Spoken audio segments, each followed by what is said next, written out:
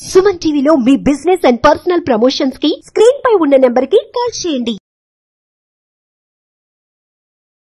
Hi welcome to Suman TV రెండు తెలుగు రాష్ట్రాల్లో online ads రంగంలో ఒక సంచలనాన్ని సృష్టించిన వ్యక్తి గురించి ఈరోజు మనం తెలుసుకోబోతున్నాం.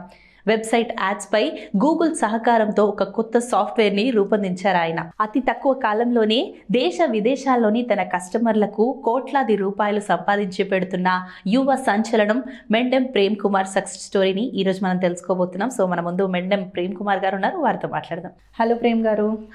సో ఒక స్టార్టప్ కంపెనీని స్టార్ట్ చేసి అతి తక్కువ కాలంలోనే నెలకి కోటి రూపాయలకు పైగానే సంపాదించే ఒక గొప్ప సంస్థగా దాన్ని రూపొందించారు. అసలు ఎలా సాధ్యమైందంటారు? సో స్టార్ట్ చేసిన టైంలో ఎప్పుడు కూడా అనుకోలేదు. అంటే ఇంత పెద్దగా డెవలప్ అవుతుందని. ప్రారంభించిన మొదటి మంత్లోనే ఒక ఫోర్ ల్యాక్స్ వరకు హిట్ చేయగలిగాము అంటే పబ్లిషర్స్ నుంచి. సో అది ఎలా సాధ్యమైందంటే మనము on time payment to the clients. ఎప్పుడు కూడా మనం పేమెంట్ అనేది డిలేట్ చేయలేదు వాళ్ళకి. ఒక క్లయింట్ని మనము మ్యాక్సిమం సాటిస్ఫై చేసే రేంజ్లోనే ఉండేవాళ్ళము.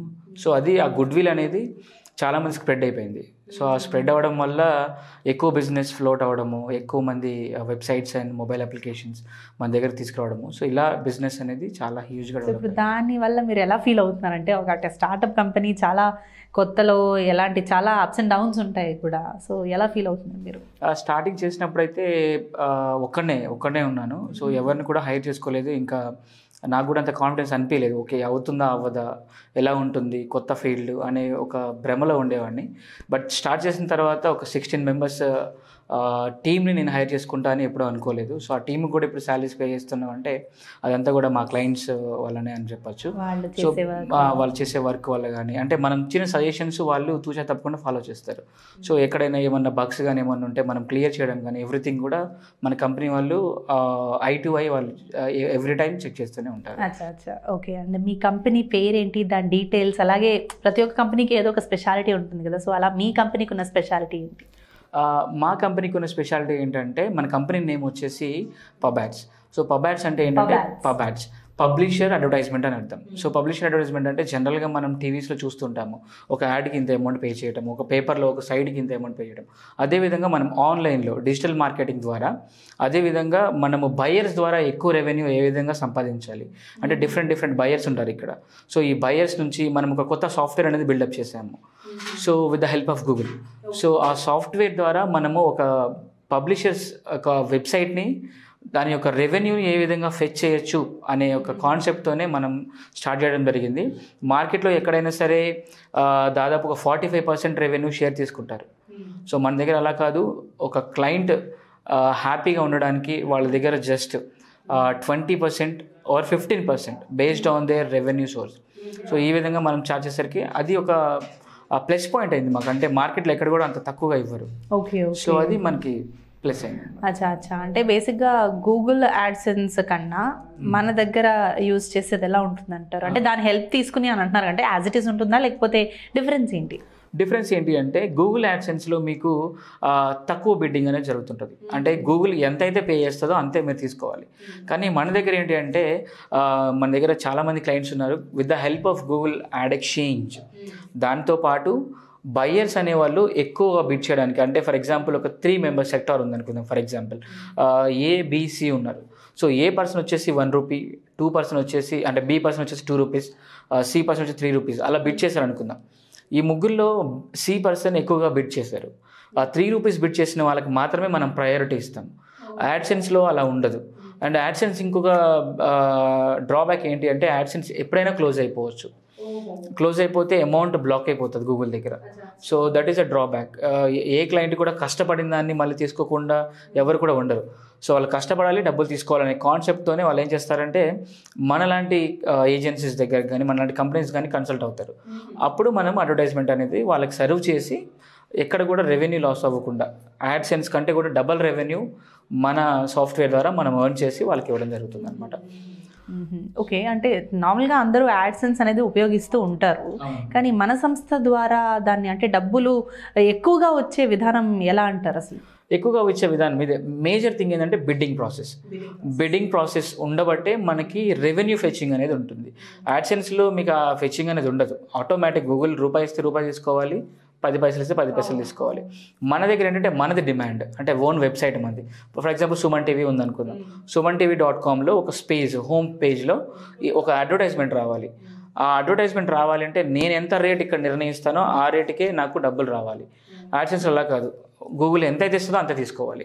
సో ఆ ఫ్లక్చుయేషన్ అనేది మనకి ఎక్కువ క్లయింట్స్ని ఫ్లో చేయడానికి కూడా ఛాన్స్ ఉంటుందన్నమాట. సో దాని ద్వారానే మనకి ఎక్కువ రెవెన్యూ రావడం కానీ ఈ రీచ్ అవ్వడం కానీ మన గోల్స్ రీచ్ అవ్వడం కానీ ఇవన్నీ జరుగుతుంది ఓకే ఓకే అంటే ఈ మధ్య కాలంలో కోవిడ్ ప్రభావం వల్లనో ఎందుకో యూట్యూబ్ ఛానల్స్ చాలా ఎక్కువైపోయాయి. అవును, అంటే.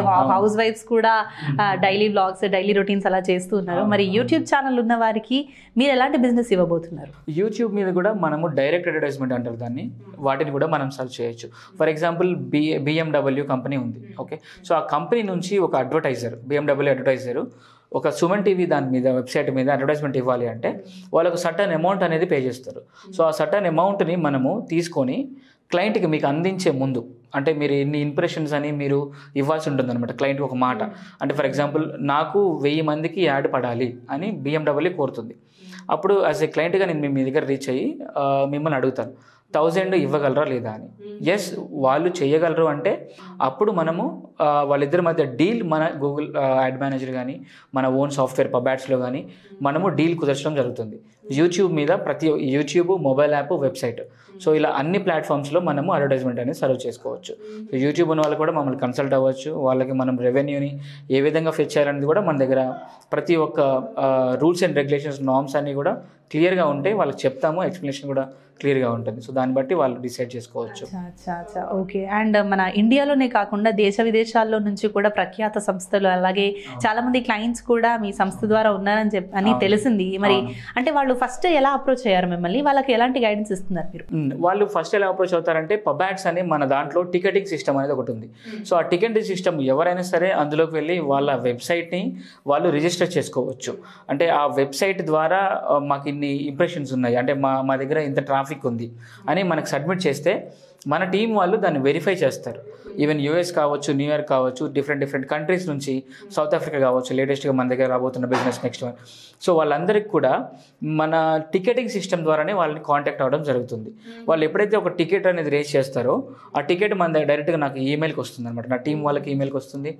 వాళ్ళు వెరిఫై చేసి ఎంత ట్రాఫిక్ ఉంది ఎంత రెవెన్యూ మనం జనరేట్ చేయగలము ఈ వెబ్సైట్ ద్వారా అని క్లయింట్కి ఒక ప్రాఫిట్షీలో ఇస్తాము. దాన్ని బట్టి అతను దాన్ని చెక్ చేసి మనకి వెల్ అండ్ గుడ్ అనుకుంటే he'll do a contract with us that's when we'll serve ads okay and కొత్తగా ఎవరైనా వెబ్సైట్ స్టార్ట్ చేయాలనుకున్నా బిజినెస్ స్టార్ట్ చేయాలనుకున్నా కూడా మిమ్మల్ని ఎలా సంప్రదించాలంటారు?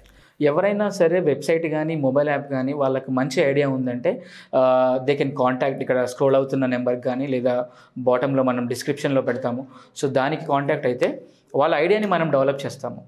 ఐడియాని డెవలప్ చేయడమే కాకుండా వాళ్ళకి రెవెన్యూ ఏ విధంగా వస్తుంది? అంటే వాళ్ళు ఒక లక్ష రూపాయలు ఇన్వెస్ట్ చేస్తారు. ఒక మీడియం బిజినెస్ పర్సన్ తీసుకుందాం. సో ఆ పర్సన్ లక్ష రూపాయలు ఇన్వెస్ట్ చేస్తే దాన్ని మనం నెక్స్ట్ రాబోయే మూడు నెలల్లో టెన్ ల్యాక్స్ ఏ విధంగా చేయాలి అనే కాన్సెప్ట్ కూడా మనం అతనికి చెప్తామన్నమాట. సో చెప్పడం ద్వారా క్లయింట్కి ఒక కాన్ఫిడెన్స్ అంటే పెడుతున్నాము రావేమో అనే భయం లేకుండా వాళ్ళకి ప్రూఫ్ అనేది మనం చూపిస్తాము. తప్పకుండా వస్తాయి అనేది మనం చూపిస్తాం రాకపోతే హండ్రెడ్ పర్సెంట్ ఈ వన్ ల్యాక్ కూడా వాళ్ళకి రిటర్న్ ఇవ్వడం జరుగుతుంది. సో అంత కాన్ఫిడెన్స్ ఉంటుంది అనమాట మన దగ్గర. అంటే ఆ ఐడియా కూడా అంత పిచ్చింగ్ గ్రేట్గా ఉండాలి. బాగుంటే then we can take the project investment వాళ్ళతో పెట్టిస్తాం వాళ్ళతో చేపిస్తాము అండ్ రిటర్న్స్ కూడా డబల్ త్రిబుల్ మనం ఇవ్వడం జరుగుతుంది. సో ఇప్పుడు సాధారణంగా ఒక మనిషికి ఒక వెబ్సైట్ ద్వారా ఐదు వేల డాలర్లు వస్తుంటే అలాంటి వాళ్ళకు మీ సంస్థ ద్వారా ఎలాంటి ఫెచ్చింగ్ చేయ చేయిస్తారు? చేస్తాం. ఓకే ఫర్ ఎగ్జాంపుల్ ఇప్పుడు మీరు అడిగిన ఉదాహరణ ప్రకారము ఒక వెబ్సైట్కి ఐదు వేల డాలర్లు అంటే త్రూ యాడ్సెన్స్ కావచ్చు different different platforms Facebook ads చాలా ఉన్నాయి. వాళ్ళకి మనము ఏ విధంగా చూస్తామంటే వాళ్ళ లేఅవుట్ ఫస్ట్ మన టీం డిజైన్ చేస్తుంది. అంటే వీళ్ళ లేఅవుట్ ఏ విధమైన అడ్వర్టైజ్మెంట్స్కి యూజర్స్ ఎక్స్పీరియన్స్ అవుతున్నారు. ఆ ఎక్స్పీరియన్స్ అయ్యేదాన్ని బట్టి మనం వాళ్ళకి ఫైవ్ థౌజండ్ అంటే ఆల్మోస్ట్ ఒక టూ థౌజండ్ డాలర్స్ ఫెచ్చింగ్ అని మనం ఇవ్వచ్చు అనమాట సో మనం తక్కువ percentage at the same time higher percentage ఇవ్వడం ద్వారా అంటే హయ్యర్ రెవెన్యూ ఫెచ్చింగ్ చేయడం ద్వారా వాళ్ళు హ్యాపీగా మనకి ఆ వెబ్సైట్ని మనకి ఈజీగా ఇస్తారు. ఎందుకంటే ఆ ఫెచ్చింగ్ మనం వన్ టూ మంత్స్లో మనం చూపిస్తాం వాళ్ళకి ఏ విధంగా అవుతుంది అవ్వబోతుంది అనేది కూడా. ఎవ్రీడే రిపోర్టింగ్ చెక్ చేసుకోవచ్చు వాళ్ళు. ఎవ్రీడే ఈసీ పేమెంట్ ఉంది. సో వాళ్ళ లాంగ్వేజ్ అంతా అది టెర్మినాలజీ టెక్నికల్ లాంగ్వేజ్ సో వాళ్ళు ఒకసారి ఆన్బోర్డ్ అయిన తర్వాత వాళ్ళందరికీ మేము ఎక్స్ప్లెయిన్ చేయడం జరుగుతుంది ప్రొడక్ట్ నాలెడ్జ్ కూడా వాళ్ళకి అందించడం జరుగుతుంది. సో దాని ద్వారా మనం ఒక two thousand three thousand dollars అయితే మనము ఎక్కువగా ఇవ్వచ్చు. అంటే ఒక ఎయిట్ థౌసండ్ డాలర్స్ వరకు మనం ఫెచ్ చేయొచ్చు. ఓకే ఓకే అండ్ ఫైనల్లీ మీ వెబ్సైట్ ఐ మీన్ మీ సంస్థ గురించి మా వ్యూవర్స్కి ఏం చెప్తారు? మా సంస్థ గురించి అంటే బేసిక్గా ఎవరైనా సరే ఒక మంచి ఉద్దేశం అంటే జాబ్స్ రావట్లేదు ఇప్పుడు జాబ్స్ పడట్లేదు కరోనా టైంలో. చాలామంది కూడా యువత ఏం చేయాలో అర్థం కావట్లేదు. సో అలాంటి వాళ్ళకి ఏం చెప్తామంటే వాళ్ళ దగ్గర ఒక ఐడియా ప్యూర్ ఐడియా ఉందనుకుందాం. ఫర్ ఎగ్జాంపుల్ ఇన్వెస్ట్మెంట్ ఎక్కువగా లేకపోయినా పర్వాలేదు.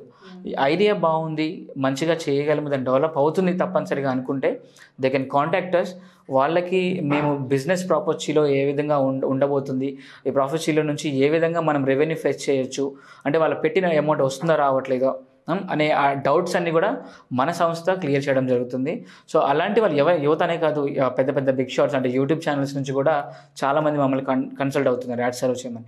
సో పేరైతే చెప్పను బట్ అవి బిజినెస్ ఇంటర్నల్ థింగ్స్ కాబట్టి. బట్ వచ్చే ప్రతి ఒక్క యూత్ కానీ అది మెన్ కావచ్చు ఉమెన్ కావచ్చు ఎవరికైనా సరే ఒక బెనిఫిట్ అనేది మన కంపెనీ ద్వారా అందించడం జరుగుతుంది. ఒకవేళ అది అందించలేకపోతే వాళ్ళు ఎంతైతే పే చేస్తారో దాన్ని మనం రిటర్న్ ఇవ్వడమే జరుగుతుంది. సో ఎక్కడ కూడా మనం దాన్ని ఉంచుకోమన్నమాట. Okay okay. Right. Thank you so much Prem గారు. Thank you thank you so much right చూసారు కదా ఈ సంస్థ గురించి మరిన్ని వివరాలకి కింద స్క్రోల్ అవుతున్న నెంబర్స్కి కాల్ చేయండి. మీకు కావాల్సిన సమాచారాన్ని తెలుసుకోండి.